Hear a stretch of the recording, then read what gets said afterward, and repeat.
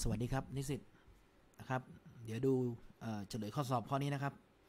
เป็นเรื่องกระแสไฟฟ้ากระแสสลับนะครับนะดูกันเลยครับ ก็คืออจากโจทย์ข้อนี้นะครับ เป็นข้อสอบ final นะครับ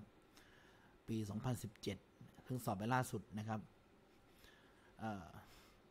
วันที่ 18 พฤษภานะครับ ก็คะแนนเต็มเท่าไหร่ 30 คะแนนนะครับ 30 points นะครับ ก็คือกำหนด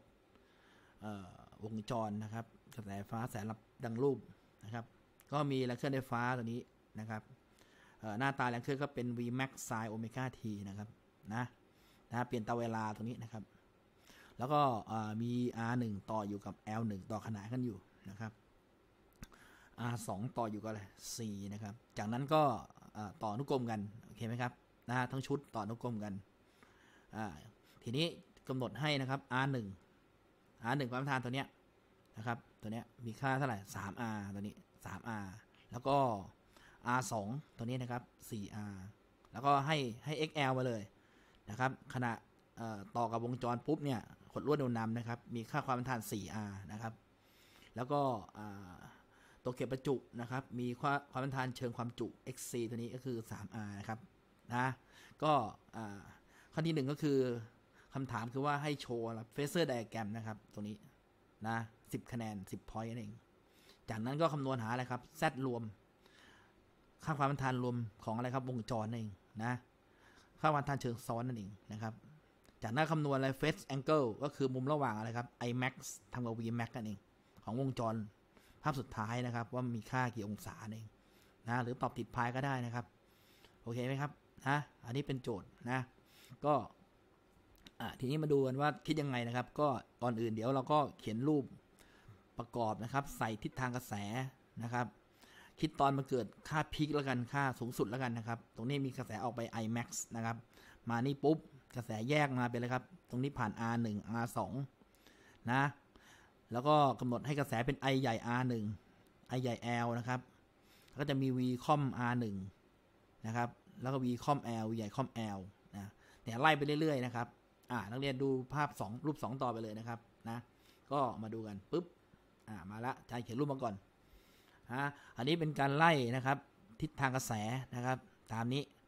นะเห็นไหมครับมาถึงนี้ปุ๊บกระแสแยกไหลนะต่อขนาน ก็ให้ตรงนี้เป็นอะไรครับ i i ห้อย r 1นะครับ ตัวนี้สับสคริปต์ r 1เพราะกระแสผ่าน r 1นะครับ i ห้อย l ตัวนี้กระแสผ่าน l x i l นะครับ i ใหญ่ l แล้วก็ i อะไรครับ ir 2ไล่ i ก่อนนะครับ แล้วก็ i นะครับ ic นะแล้วออกมานี่ถูกไหมครับนะช่วงจังหวะนี้จะเป็น imax ออกมาตรงนี้เป็น imax ตรงนี้ imax นะ imax imax หมดทีนี้มาไล่ v อ่า v ตรงนี้ก็คือแล้ว v ใหญ่นะค่าความสักสูงสุดคอม r 1 ตัวนี้นะครับตัวนี้ก็คือ v v v v r 1 นั่นเองนะครับนะค่าความสักสูงสุดคอมอะไรคอม l v ใหญ่ l อันนี้อันนี้ก็คือแล้ว v สูงสุดคอม r 2 v ห้อย r 2 นะครับ v สูงสุดคอม4ก็ v ใหญ่4ถูกไหมครับ นะแล้ว 2 ตัวนี้ต่ออะไรกันต่อขนานกันนะครับ เพราะฉะนั้นเดี๋ยวความสักเอ่อ vr 1กับ vl เนี่ยเท่ากันด้วย เดี๋ยวเราคิดตรงนี้ก่อนนะครับเขียนเฟเซอร์ตรงนี้ก่อนนะนะครับหา z 1 ให้ได้ตรงนี้นะครับเขียนเฟเซอร์ของมันนะครับนะอ่าทีนี้เมื่อเสร็จปุ๊บ เราก็จะมาเขียนเฟเซอร์ตรงนี้นะรูป 2 ตัวนี้ต่อขนานกันนะต่อต่อขนานกันนี่ v เท่า นะครับ ช่วงที่เขียน phasor ตรงนี้ปุ๊บเนี่ยให้เอา v อยู่แนวนอน vr 1กับ v แล้ว vi อยู่แนวนอนนะครับนะไล่ไล่กระแส ir 1 il นะครับนะอันนี้ก็เหมือนกันตอนเขียน phasor นะครับเอาอะไรครับเอา vr 2กับเวกเตอร์อะไรครับเวกเตอร์ vr 2กับเวกเตอร์ vc นี่อยู่แนวนอน แล้วไล่ ir 2กับอะไรครับ ic นั่นเองนะครับอ่านี่สิดูหน้าถัดไปเลยนะครับนะหน้าถัดไปเลยนะครับ ก็หน้านี้นะครับ เดี๋ยวการโชว์เฟกเซอร์ให้ดูนะ ก่อก่อนอื่นนิสิตเขียนภาพยุบวงจรก่อนนะครับยุบวงจรก่อน reduce ก็คือภาพจะง่ายขึ้นนะครับ มองมอง R 1กับอะไรครับ กับกับ L ตัวนี้เป็นอุปกรณ์ชิ้นใหม่ชิ้นหนึ่งนะครับ มีค่าความต้านทานเป็น Z 1 Z 1ทำนองเดียวกันก็คือมอง R 2กับอะไรกับตัวเก็บประจุนะเป็นอุปกรณ์ชิ้นใหม่ชิ้นหนึ่งนะครับ มีค่าความต้านทานเป็นอะไรครับ Z 2นะแล้วไล่กระแสใหม่ตัวนี้ imax นะตัวนี้เราตั้งชื่อเป็นอะไรครับ z 1 ก็มีกระแสเป็นอะไร i 1 นะแล้ว v com z 1 ก็เรียกว่า v 1 นะครับ i 2 นะครับ ตรงนี้ v com z 2 ก็เรียกอะไรครับ เอ้ยอ่าเรียก v 2 นะครับ นี่นะเดี๋ยวนี้สิทธิ์เทียบตรงนี้ก่อน ดูนะครับ ดูกลุ่มนี้ v 1 กับอะไรครับ กับกับกลุ่มนี้สองอันนี้นะครับเขียนเฟเซอร์โอเคป่ะนะแล้วก็มาดูกันว่าเนื่องจากว่ามันต่อขนานกันถูกป่ะ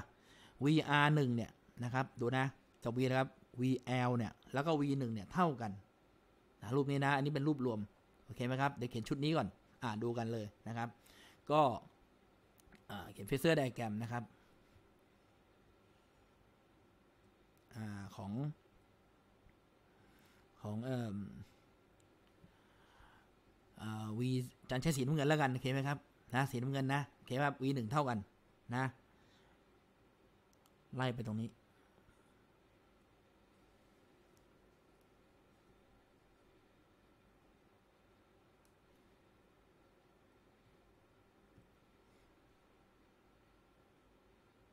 เนี่ยไล่ ประมาณนี้ ตัวนี้จะแทนด้วยเวกเตอร์ v 1 v 1นะครับ แล้วก็ v อะไรก็ได้ vr 1 vr 1แล้วก็ v อะไรครับ v ใหญ่ l นะครับ ตรงนี้เท่ากัน นะ โอเคไหมนะครับ จากนั้นนิสิตก็ไล่อะไรครับ ที่กระแสนะครับ ไล่กระแส IR 1แล้วไล่กระแส IL นะ เพื่อหาอะไร กระแสรับอะไร I 1นั่นเอง แต่ต้องคิดแบบเวกเตอร์นะครับ นะก็ไล่อะไรก่อน ไล่ v com อะไรก่อน ไล่อะไรก่อน ไล่ IR 1ก่อนนะครับ กระแสพัน R จะอยู่เฟสตรงกันโอเคไหมครับ เพราะนั้น IR อยู่ทิศนี้นะ IR อยู่ทิศนี้นะครับ ก็ใส่ไปนะครับ ตรงนี้ เขียนยานิดนึงนะอาจันให้สีแดงแล้วกันนะครับ ตรงนี้ I นะครับปึ๊บตรงนี้ปึ๊บอ่าตรงนี้ตรงนี้จะเป็น IR 1นะครับ IR 1เห็นไหม มันทิศเดียวกันเลยครับ VR 1 ต่อไปนะครับ ไล่แล้วครับ ไล่ IL IL คือมันจะตาม VL อยู่ 90 ถูกไหมถูกป่ะเพราะนั้นมันต้องอย่างนี้อยู่ทิศนี้โอเคป่ะเวลาเวลาดูนี่ปุ๊บเนี่ยเราให้เวกเตอร์หมุนบนอย่างนี้นะครับโอเคป่ะ V VL มันนำ IL อยู่ 90 เพราะนั้น IL อยู่ทิศนี้นะครับ ก็ลงมาตรงนี้ทิศนี้ 90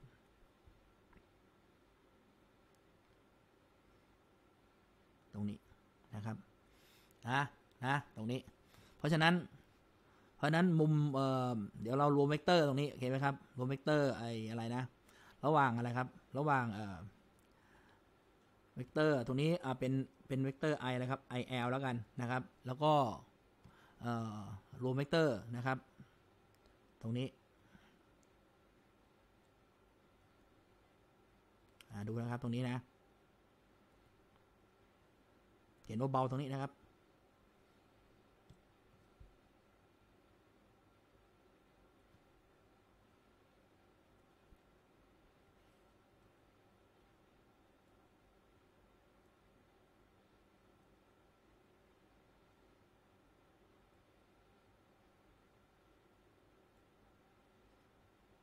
นี่นะครับนะตรงนี้คือเวกเตอร์ i 1ในเวกเตอร์ที่เราต้องการหาก็คือเวกเตอร์นี้เวกเตอร์ i 1 อันนี้นะครับ i 1 นะ i 1 เ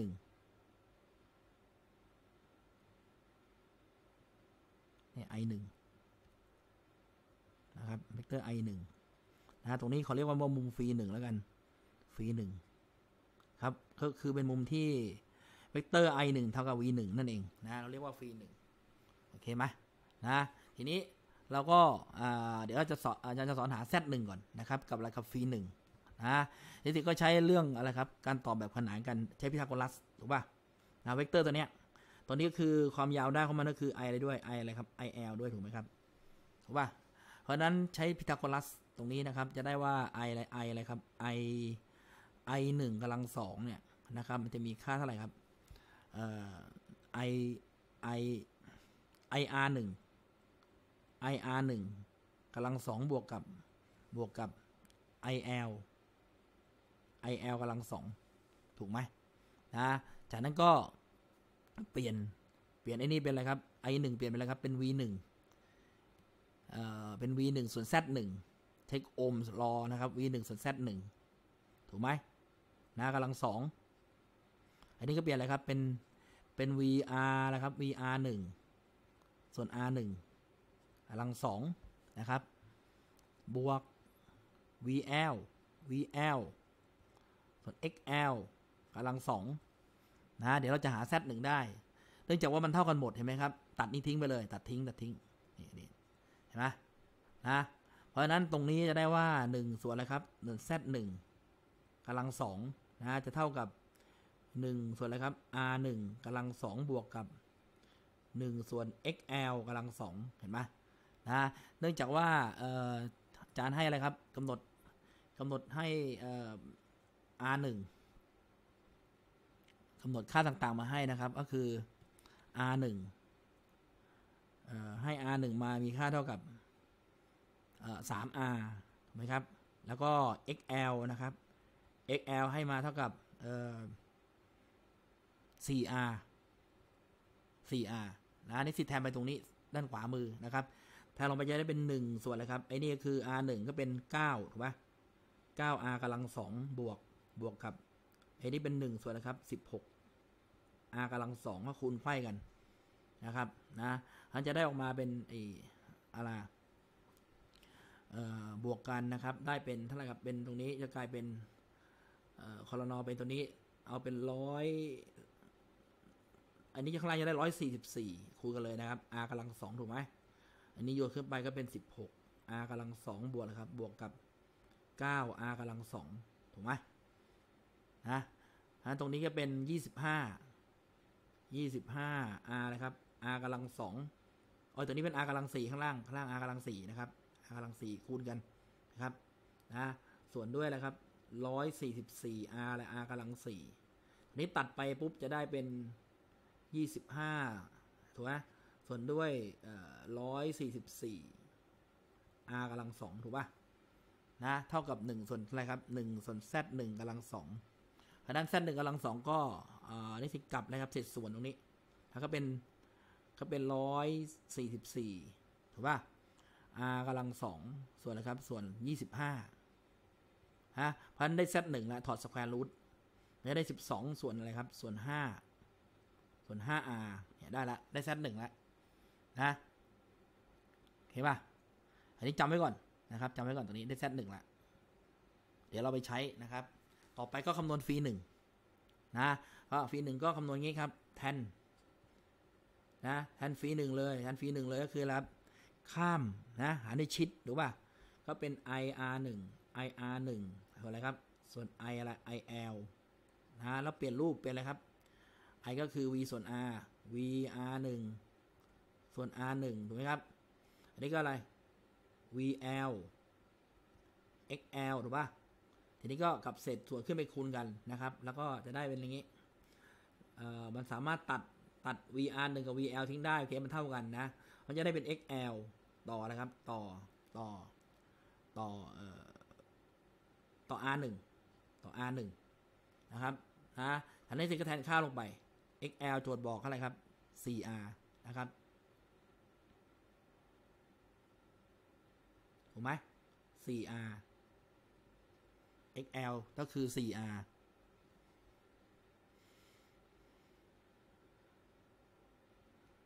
เห็นปะนะครับ ดูให้ดีนะครับ แทนนั่นคืออะไร ข้าม หารด้วยชิดถูกป่ะ il ส่วนอะไรครับ i i r i r หนึ่งถูกไหมเอ้ย จานสลับนี่ว่ะ ขอโทษขอโทษนี่หน้าแปลกๆนะครับ มันต้องอะไรก่อน สลับกันตรงนี้ สลับกันนะครับ เอาใหม่เอาใหม่นะครับ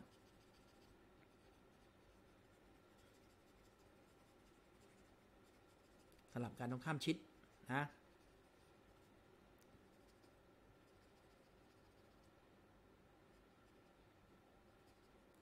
ครับตรงนี้ต้องเป็นอะไร ตรงนี้ต้องเป็น i นะครับ il ถูกป่ะข้ามหารด้วยชิดถูกไหมนะก็เป็น il il หารด้วยอะไรครับ ir หนึ่ง r เนี่ยเดี๋ยวก็เปลี่ยนไปเลยครับ vil xl ถูกป่ะอั นนี้ก็เป็น v แล้ว vr หนึ่งส่วนใดส่วน r หนึ่ง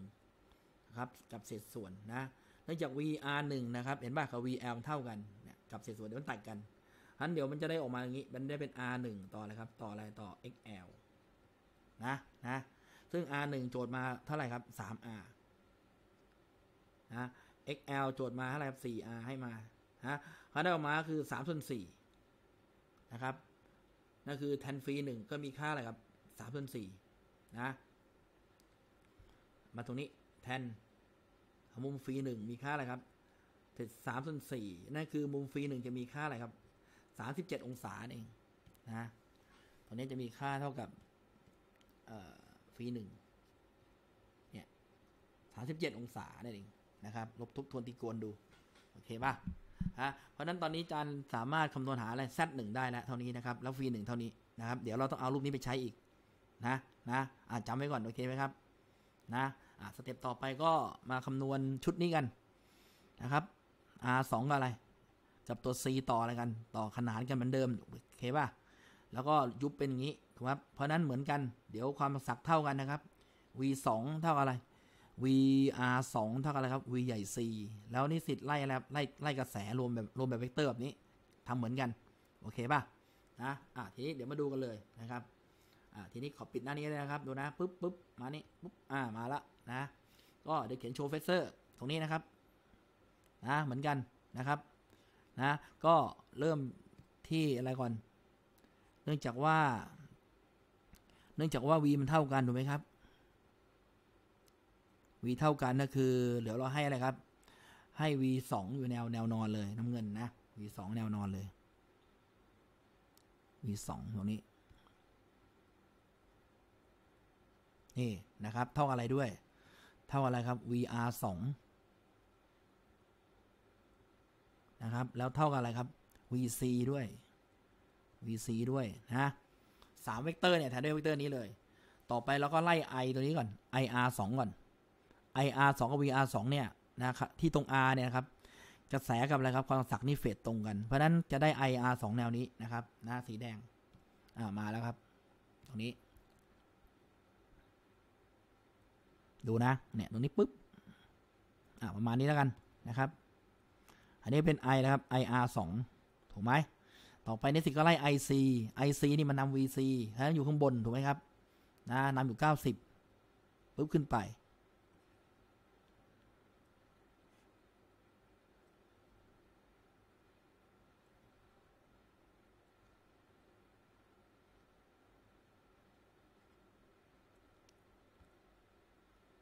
เนี่ย IC นะเห็นไหมตรงนี้นะครับ จากนั้นก็รวมเวกเตอร์นะครับนะสร้างรูปสี่เหลี่ยมผืนผ้าเอ้ยได้ขนานนะครับนี่ประมาณนี้ เบาๆลากเส้นเบาๆตรงนี้นะครับนะ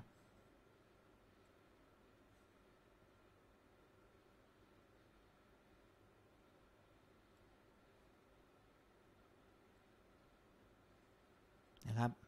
เวกเตอร์ลัพธ์นะเวกเตอร์ลัพธ์ นี่ครับ พุ่งมานี่ พุ่งมานี่ฮะเห็นป่ะพุ่งมานี่นะครับ เนี่ยเวกเตอร์เนี่ยนะเวกเตอร์กระแสเนี่ยสีแดงเนี่ยเรียก i นะครับ เรียก i สองเวกเตอร์นี้ i สองนะต้องรู้แบบเวกเตอร์นะและตรงนี้ก็คือมุมที่เวกเตอร์อะไรครับ i สองทำกันอะไรครับ v สองตัวนี้เรียก phi สองนะครับ phi สองนั่นเอง phi twoเห็นป่ะฉะนั้นรูปนี้แหละเดี๋ยวเราใช้หาเลยครับ หาค่า z สองตัวนี้ด้วยทำเหมือนกันนะครับทำเหมือนกัน แล้วเราจะได้ว่าเเราจะได้ว่านะครับจากรูปจะได้ว่านะครับ i 2กำลังสองเท่าไหร่ครับ ก็คือ i r 2กำลังสองบวกอะไรครับ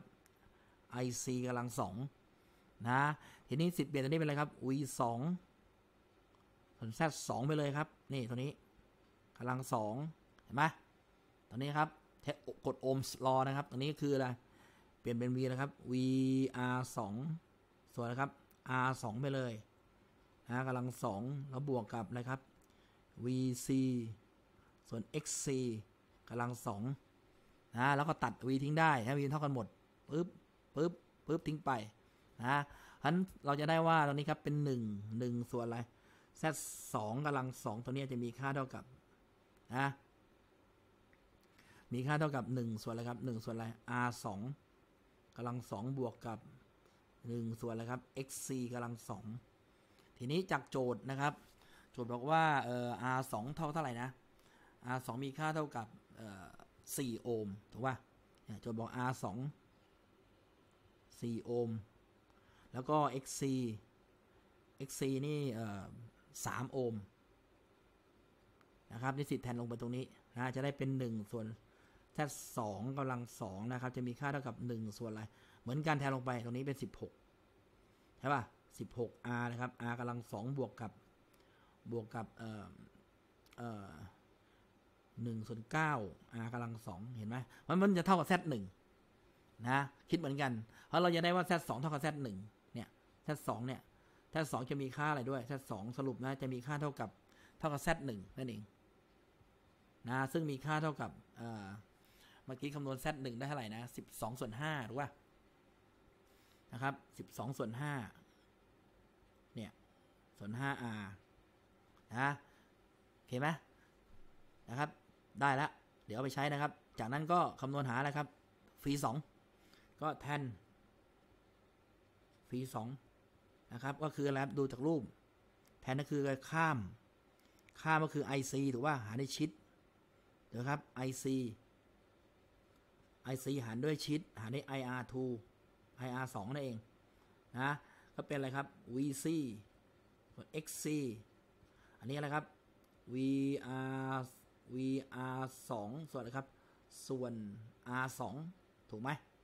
นะกับเศษส่วนแล้วตัด V VC VR 2 เนี่ยเท่ากันตัดทิ้งนะครับ มันจะได้เป็นงี้ มันจะได้เป็น R 2 ตวัดขึ้นไปข้างบนเลย แล้วก็อะไรครับ XC นะ จากนั้นนิสิตก็แทนค่าลงไป นะครับ R 2แทนด้วยอะไรเข้าไป 4 ถูกไหม4โอห์ม แล้วก็ไอ้นี่แทนด้วยครับ 3 โอห์มนะเพราะนั้นจะออกมา4ส่วน3นั่นเอง เพราะเราจะได้ว่าแทนอะไรครับ แทน แทนฟรี2นี่ออกมาเท่ากับเศษ4ส่วน3ถูกไหมนั่นก็คือมุมฟรี2ตรงเนี้ยนะครับ มุมฟรี2เนี่ยคือมุมเท่าไหร่ครับ 53 องศานะสวยงามเห็นไหมครับนะโอเคไหม ฉะนั้นตอนนี้สรุปก็คือเราได้หมดแล้วได้แซดหมดแล้วได้ฟรีหมดแล้วนะฮิสเต็ปถัดไปก็มาดูรูปรูปรวมอีกทีหนึ่งนะครับโอเคไหมนะ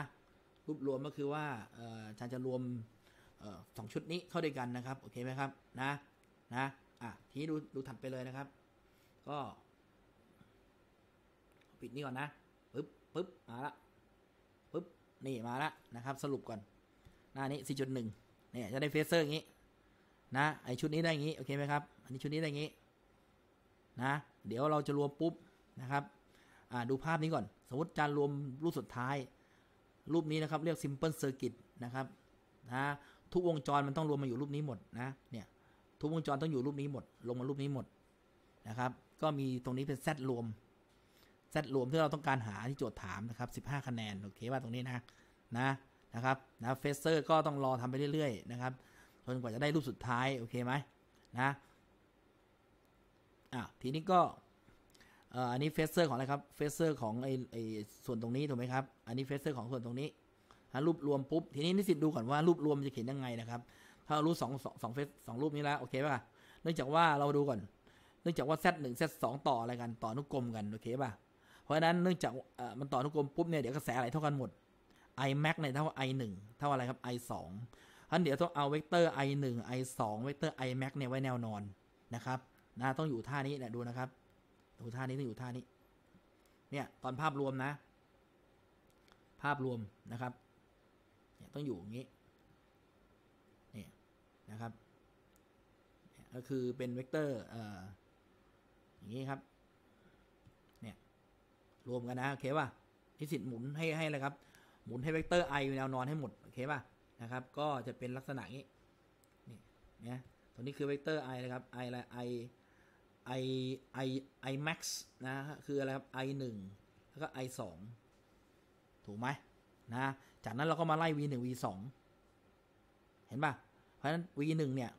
มันนำนำ i 1อยู่เห็นไหมครับนะวิธีดูคือมันต้องหมุนเวกเตอร์ต้องเวกเตอร์ต้องหมุนไปอย่างนี้ถูกไหมครับถูกป่ะนะ v 1มันนำอะไรอยู่ i 1อยู่เท่าไหร่37นะครับ เพราะนั้นเดี๋ยวเวกเตอร์ v 1ต้องอยู่แนวนี้ แนวนี้ แนวนี้นะแนวนี้ v 1ก็อยู่แนวนี้ เนื่องจากว่า z 1เท่ากับ z 2เนี่ยนะครับ นะ เราได้ว่า z 1เท่ากับ z 2เนี่ย v 1เท่ากับ v 2ด้วยนะครับ นะเราทราบว่า z 1เนี่ย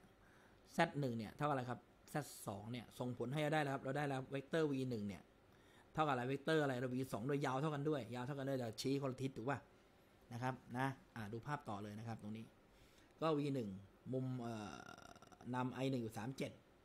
ก็ประมาณสามเจ็ดนะครับเนี่ยประมาณนี้นะในเวกเตอร์ v หนึ่งฟึบ v หนึ่งนะครับ v หนึ่งประมาณนี้ เดี๋ยวดูทีก่อนอ่าสามเจ็ดนะครับสามเจ็ดเดี๋ยวเวกเตอร์ v หนึ่งนะนะตรงนี้สามเจ็ด นะต่อไปก็มาไล่เวกเตอร์ v สองเวกเตอร์ v สองสังเกตมันตามอะไรครับ i สองอยู่เท่าไหร่ห้าสามแสดงว่า v สองต้องอยู่ข้างล่างนี่นะครับนะอยู่ข้างล่างนี่เนี่ยปึ๊บนี่นี่ยาวเท่ากัน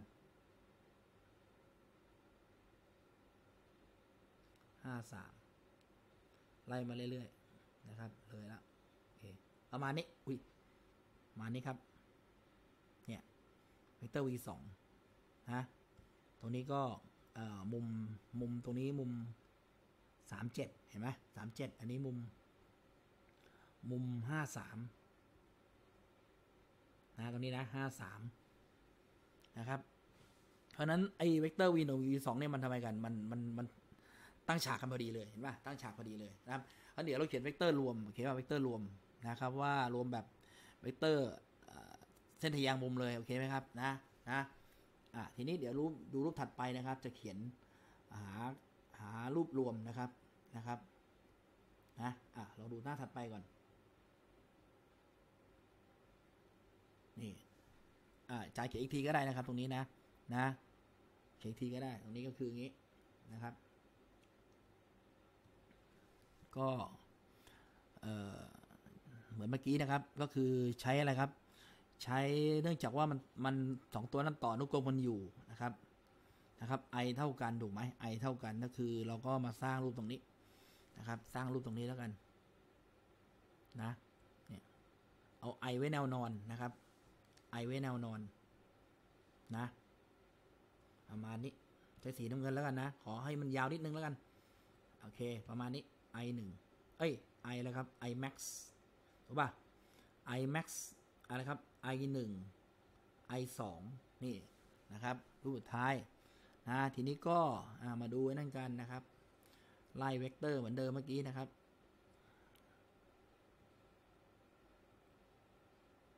ไล่ไปเรื่อยๆก่อน ตรงนี้อันนี้เท่นเบาๆก่อนนะ โอเค อ่า ต่อไปนะครับ ไล่อะไรครับ เหมือนเดิม v ไล่ v หนึ่งก่อน v หนึ่งมันนำอะไรครับ i หนึ่งอยู่สามเจ็ดเพราะฉะนั้นมุมมันก็อยู่ตรงนี้ นะครับสามเจ็ดนี่สามเจ็ดมานี้แล้วกันนะ นะครับเตอร์สีแดงนะ มานี้แล้วกันสามเจ็ดปึ๊บได้ละสามเจ็ดนะทีหนึ่งเห็นไหมมุมนี้สามเจ็ดองศา นะครับ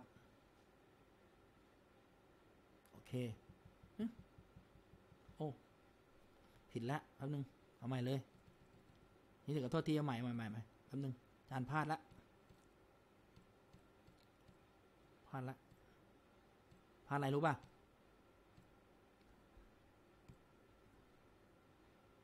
เวกเตอร์ i มันต้องสีแดงถูกป่ะครับนะเดี๋ยวงงนะครับ นะอาจารย์ขอใช้สีแดงแล้วกัน นะให้มันสวยงามด้วย อ่าตรงนี้นะครับ นะเผื่อไว้หน่อยต้องเป็นสีเวกเตอร์ iนี่ i นะเวกเตอร์นี้คือเหมือนเดิม i max ถูกไหมครับ i อะไรครับ i i หนึ่ง i สองมันเท่ากันหมด ยาวเท่ากันหมดนะครับ อ่า ทีนี้เราก็มาไล่ v ถูกไหมสีน้ำเงินนะครับ ก็ไล่ v เวกเตอร์ v หนึ่งเวกเตอร์ v หนึ่งมุมสามสิบเจ็ด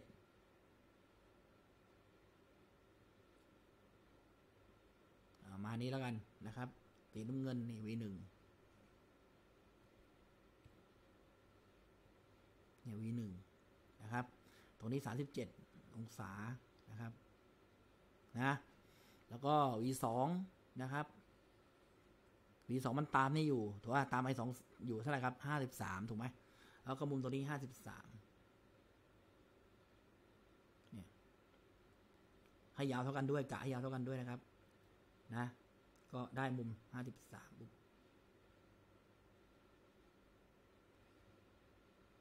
อ่ามานี้แล้วกันนะครับ 53 นะ จากนั้นก็ อันนี้เป็นเวกเตอร์ v 2นะครับ มุมนี้ 53 องศา นะครับ มุมระหว่างเวกเตอร์ นี่นี่นี่นี่นะจากนั้นก็ เอ่อรวมเวกเตอร์เลยนะครับนะสร้างรูปสี่เหลี่ยมได้ขนานตรงนี้นะครับตรงนี้นะต่อมันให้ยาวเท่าๆกันตรงนี้ลากเส้นเบาๆมาตรงนี้ปุ๊บนะครับ ตรงนี้ก็ต่อมานะนะนี่ปุ๊บนี่ครับอ่าทีนี้ก็จะได้เวกเตอร์อะไรครับ v รวมตรงนี้ เห็นป่ะเวกเตอร์ v รวมตรงนี้คือ v max นั่นเองของแรงกำเนิดนะ เนี่ยอยู่ท่านี้นะครับ เห็นป่ะ เพราะฉะนั้นอาจารย์ใช้สีดำเลยแล้วกันนะ ตรงนี้นะเวกเตอร์นี้ปุ๊บนี่นี่นี่นี่ v max เนี่ยเวกเตอร์ v max เนี่ยเนี่ยเวกเตอร์ v max นะครับ v max นะเนี่ยเวกเตอร์หมุนงี้ปุ๊บเนี่ยตอนนี้คือมุมฟรีมุมฟรีที่เราต้องการหาเนี่ยเนี่ยมุม phase มุม phi ของของของของอะไรครับของของวงจรนั่นเองนะเดี๋ยวเราค่อยๆหากันดูนะครับว่าหาอย่างไรกันนะครับ ก่อนอื่นเดี๋ยวอาจารย์จะโชว์หา z ก่อนโอเคไหมครับนะของรูปรวมก่อนอ่าเดี๋ยวเราก็เริ่มจากอะไรครับจาก i อ่ารวมเวกเตอร์ถูกป่ะเรามีเวกเตอร์สองอันทำมุม 90 กันนะเวกเตอร์ลัพธ์ก็เริ่มที่อะไรก่อนก็เริ่มที่ v max นะ v max นะครับคำนวณตรงนี้นะครับนะ v max กำลังสอง v max เลยแล้วกัน เท่ากับ square root เลยครับ v หนึ่งกำลังสองบวกครับ v สองกำลังสองบวกแล้วครับ มันตั้งฉากกันอยู่ถูกไหมครับถูกป่ะนะ เห็นไหมมันตั้งฉากกันอยู่ ก็เอาใส่ไปก็ได้ก็คืออะไรครับ ก็เป็นสองเลยครับ v หนึ่ง v สองอ่าคอสผมระหว่างเวกเตอร์นะมุมระหว่างเวกเตอร์คือ cos ละ90องศา นี่เสร็จเลยถูกป่ะนะครับ ดูตรงนี้นะ เพราะนั้นก็ที่จริงใช้พิทาโกรัสนั่นแหละนะครับนะ แต่ว่าเขียนไปแล้วนะครับ ลองดู อย่างนี้นะถ้ามุมไม่90ต้องนิสิตใช้มุมสูตรนี้สูตรนี้นะครับนะ ง่ายดีนะตรงนี้ก็เป็นศูนย์ไปถูกป่ะศูนย์ไปถูกไหมครับ ทีนี้เปลี่ยนตัวนี้เป็นอะไรครับ iMac iMac Z ถูกป่ะนะเนื่องจากว่า v 1 v 2มันเท่ากันถูกป่ะอันนั้นกลายเป็นอะไรครับเป็นเห็นไหมเห็นสูตรไปแล้ว v 1 v 2เท่ากันก็เป็น 2 v อะไรครับ v 1กำลังสองถูกป่ะนะก็เป็นรูทสองเลยครับรูทสอง v 1 นะ v 1คืออะไรครับรูทสองก็คือ i 1 i 1 v ก็คือเอ้ยก็คืออะไรครับ i 1 i 1 z 1ถูกไหมครับนะเพราะนั้นเนื่องจากว่า iMac กับ i 1เท่ากันถูกป่ะถูกไหมเราจะได้ว่า iMac ดูนะครับ iMac คูณ z เนี่ยนะครับก็คืออะไรนะรูทสองรูทสอง i 1 z 1น นะเนื่องจากมันเท่ากันเห็นไหมครับถูกป่ะนะไอ้สามตัวนี้เท่ากันหมดเนี่ยเท่ากันหมดเท่ากันหมด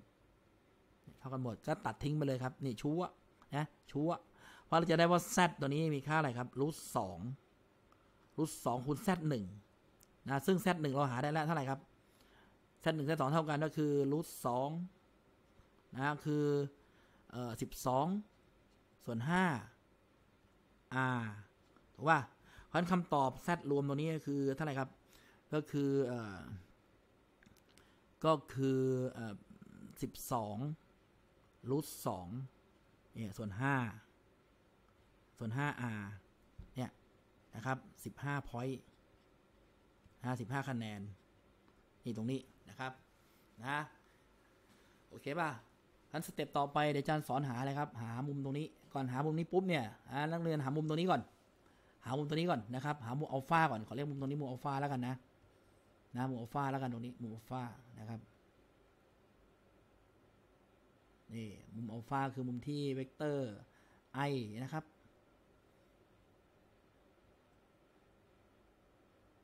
ชึบนี่เวกเตอร์นี้